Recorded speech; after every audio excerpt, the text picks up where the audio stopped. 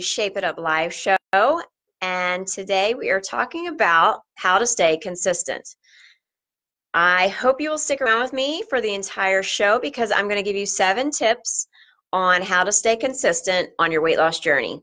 Plus, I have some two bonus tips at the very end of this video, so I hope you'll stay tuned. Um, and I also will be doing a Q&A at the end, so you are welcome to pop in any questions that you have. If you think of one while we're talking, go ahead and put it in there. Sometimes the comments are a little bit delayed, so feel free to comment as we go along, and I will answer them all at the end. All right, so if we have never met, hello, my name is Nicole Simonin. Um, I started Shape It Up back in 2006 after I had my first baby. And since then, I've been helping women get fit, and I have helped many women not only just lose inches, but also to learn how to keep them off permanently. So, my mission is to share my information with you in ways, especially like this Shape It Up live show on Facebook. Um, I also do blog posts, which have tons of information available to you. And I also work with clients either in person or online. So if you are in the United States and you would like to have some help, I can help you anywhere in the United States as long as you have a phone. Um, so you can ditch those pesky pounds whenever you want. You can schedule a mini consult with me at shapeitupfitness.com if you want more information or if you're ready to get started.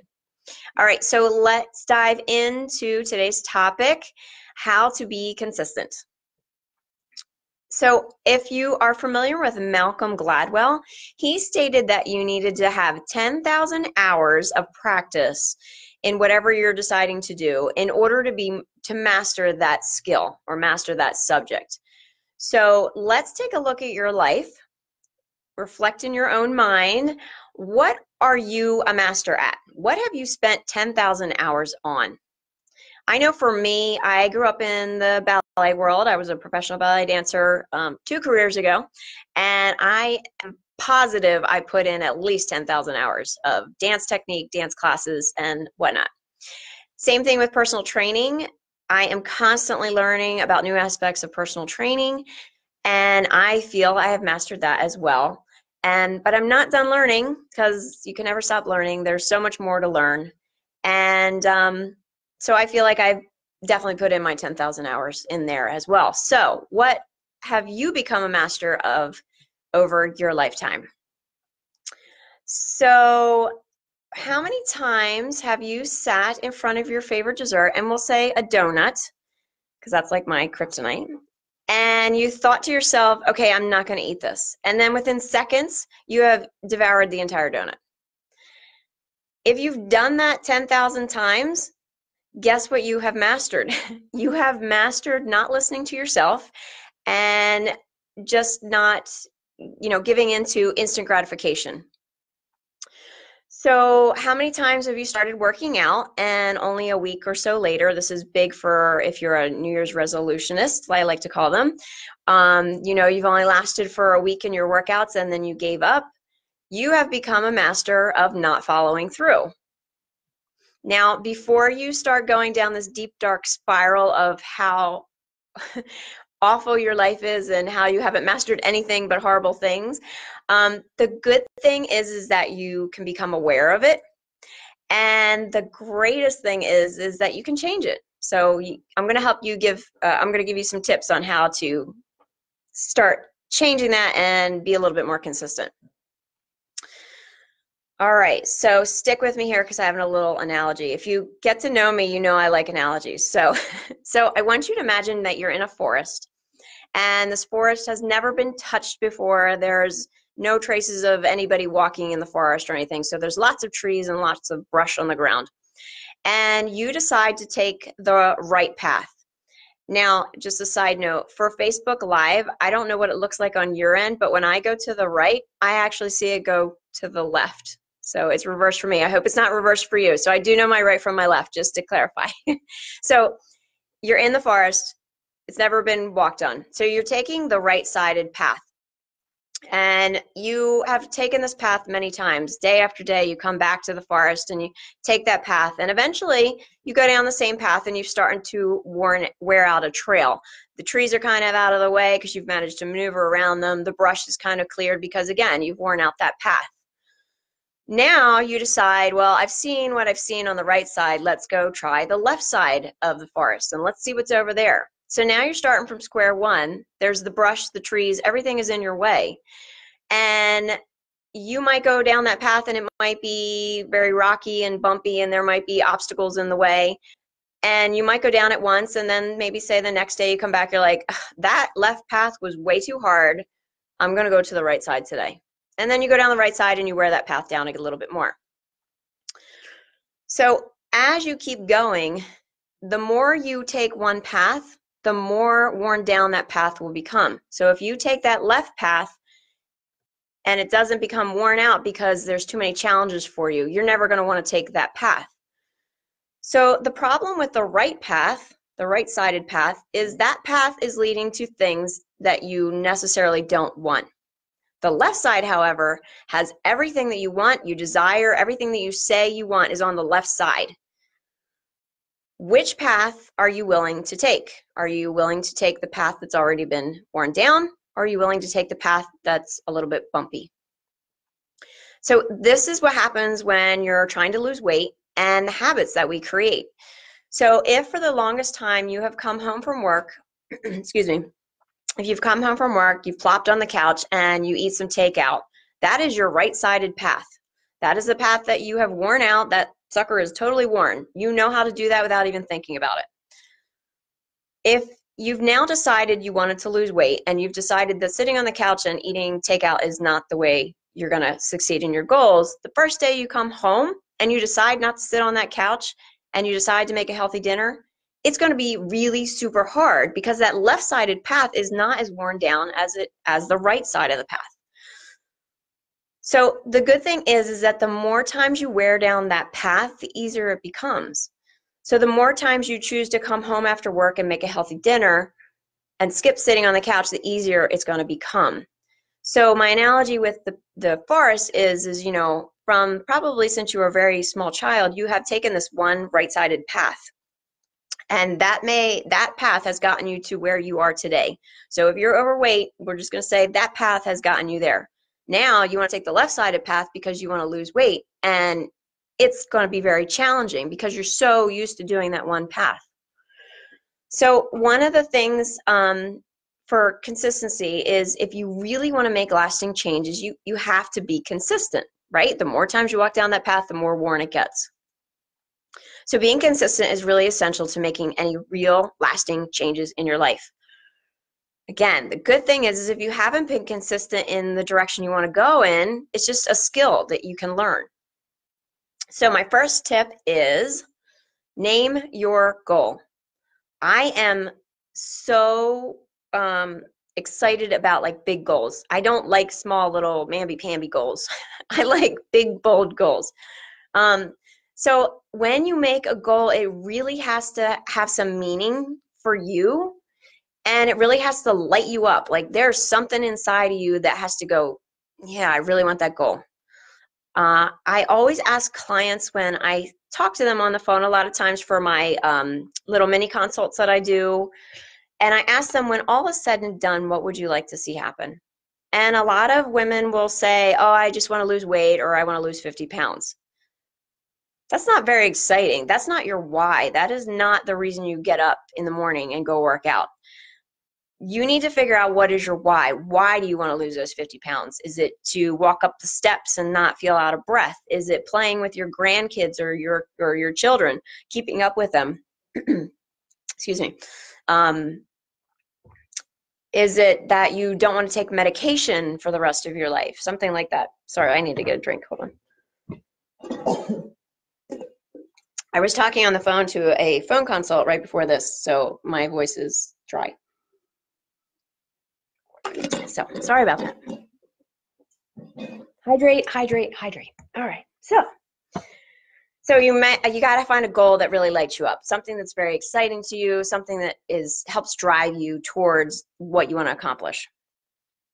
Number two is you have to schedule your goal. So once you have your goal, you need to break it down into small, achievable goals and small steps. Those steps need to go in your calendar like they are an appointment with your boss. They should be top priority. um, so once you schedule it in your calendar, you know, priorities get done. Don't tell me that you don't have time. That is like one of the biggest excuses that everyone has is that they don't have enough time to work out or get healthy or be fit. Sorry, that is a bold faced lie. We all have 24 hours in the day. You are choosing how to spend your time and what you're doing. So if you really want to find out what's important to you, for a week, log in every 15 minute increments what exactly you are doing with your time. Just get a notebook and start writing down what you're doing every 15 minutes. You know, obviously, if you're asleep, you're not going to log 15 minutes, but um, log every 15 minutes what you do throughout the day. You will be really surprised because it will be very eye opening as to what you are spending your time on and what you consider is your priorities. So do that and get back to me. I want to hear about that. um, oh, sorry. Number three, you need to ignore your inner child. As soon as you set these big, huge goals that uh, light you up and get you all excited, your brain will like within two seconds go what it's going to seize up on you and it's going to go heck no. Why on earth would you choose this goal? You can't do it. Um, you've got to be kidding me. You there's no way you're going to do it. You've never accomplished anything before so why is now different? Your brain is going to start telling you all these crazy things and trying to sabotage you and tell you you can't do it um, so if you can make it past your negative Nelly, then when you get to the step where you actually have to do something, your brain's to be like, mm, no, I don't want to. That's your inner child basically having a temper tantrum and saying, no, I don't want to. I'm to have a fit if you make me work out um, or if you make me eat broccoli or whatever it is, it's to have a fit. So be aware of that ahead of time and know that that is totally normal. Um, the more you can get past these thoughts, again, with consistency. So the more times you tell that inner child to either be quiet or, you know, calmly, it's like having a child. It, you know, I know my kids I don't think they ever had a temper tantrum in the grocery store. They might have once, and I think I left them in the aisle. I kept an eye on them, but I left them in the aisle. and they had their little fit, and then they came back over, and I never had a problem again. It's the same thing with our own inner child. Let it, you can have a fit, but I'm not going to react to it. So same thing, like you know, I told you about the donut. If you're sitting there with the donut and you're having a fit inside your head because you can't eat the donut, it's okay. Just the more you wear the path down of okay, I don't want the donut, the more consistent it will be, and the closer you'll get to your goals. All right, number four, get accountability. Ideally, I would hire someone to keep you on track. With all my training programs, I give access to my clients to me pretty much 24/7. Other than the times that I'm sleeping, you have they have access to me. They can ask me any questions, that kind of thing. So I am big on accountability with my clients. Um, I almost feel like I have a spidey sense, if you're a Spider Man fan, a spidey sense about when they're kind of self sabotaging themselves. And I find myself texting them and they'll be like, oh, I was just thinking of whatever. So um, it's good to have accountability. Don't get Aunt Susie and don't pay some $5 little program that you don't really care about. Invest in yourself and put money, put skin in the game. You know, if you paid a trainer a thousand dollars, I bet you you would show up and you give it all you got because you put a thousand dollars on the line, and you're gonna hopefully get your money's worth out of what you're using. So definitely get accountability. Number five, don't slash your tires.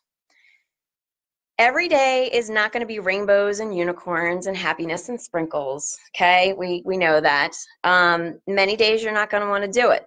Again, that goes back to the inner child.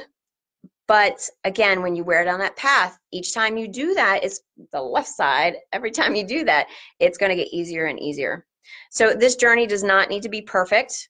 Um, you know, if you started to learn a language and you started to say you learn tried to learn French, um, you're not going to make complete sentences. If you try to talk to a French person in in French, you're probably not going to make any sense to them. They're going to look at you like you're crazy. And you may slip out and say some curse words and not even realize it because there's like one letter off from the word. So it doesn't have to be perfect. I don't understand why people just assume that because they're now trying to lose weight that they automatically have to get it 100% perfect. Nothing that you start is going to be perfect. And even when you've been in it for a while, some it's not going to be perfect. Um, so you got to ditch the all or nothing mentality. And um, I love this analogy. This is from Keith Klein. He is a nutritionist, and um, he says if you get a flat tire, you don't go outside of the car and slash the other three tires. You fix the tire that's you know blown, and you move on. So it's the same thing with your food and you know weight loss journey. If you know if you mess up, so say you quote unquote you know you ate a whole bag of Haagen-Dazs, a whole bag, a whole pint of Haagen-Dazs you ate the Haagen-Dazs. Figure out why you ate it and then move on. Don't just go, well, screw it. I'm just going to eat, you know, a bag of chips and everything else. Okay, so be nice to yourself. It's not about perfection. It's really about being consistent. Um, number six, choose your path wisely. Um, going back to the path analogy, you know, every time you choose that right-sided path, the path that is not getting you what you want and is reinforcing old habits, that's what you're doing. You're constantly reinforcing those old habits. Um, the more you pick the left side of the things that you say you want, the more you're going to reinforce that path. And new habits will come, again, with consistency. Um, number seven, you have to let go of your stories. I am going to touch on this a little bit more in another video, but a lot of times the things that you think about yourself um, or, or situations are not necessarily true and you think that they're true because that's just what you've been taught to believe. But a lot of those stories are not serving you and they're actually inhibiting you from doing what you say you want to do um, so for just now, until I come out with that video, just think about, um, just observe your thoughts and what feelings come up when, you know, you're presented with, say, a donut in front of you. Like, what are you thinking about? What, what's going through your mind? So two bonus tips. Number one, always have a backup plan. I also did a blog post on this, and I'm going to put the link after the video is done, I'll put the link in the comment section. Um, so if you are catching this video on a different post, because sometimes I will repost them, the link may not be there, but you can go to shapeitupfitness.com and um, in the search bar, put in plan A and it should pop up. But basically, so you want to have a backup plan. I usually tell my clients, you know, you need a plan A, plan B, a plan C, you might need a D or an E. So, you know, each one is like one is ideal, one is if you're having a situation that's minor, and then the other one is like a major situation. So definitely check out that video and that post, um, and that will give you help on getting a backup plan in order. so the second bonus tip is make it non-negotiable. If you really, really, truly want what you say you want, nothing is going to stand in your way. So really just get out of your way, do what Nike says and just do it. Um, can you really like just imagine if you did all the things that you said you wanted to do? Like wow, we the world would be an amazing place. Um, you know, we'd be we'd be kicking ass and taking names. That's all I have to say. So so make it non-negotiable. Make your goal high priority and you're just going to do it. Do what you got to do. So what if you stumble, you fall, you get back up, you do it again. Um, so the bottom line is, is if you're consistent, you are going to see results. Um, you have to be all in on your goals. You can't, you can't half-ass it. There's a, um, and I'm sorry for the, the curse words that are coming in today.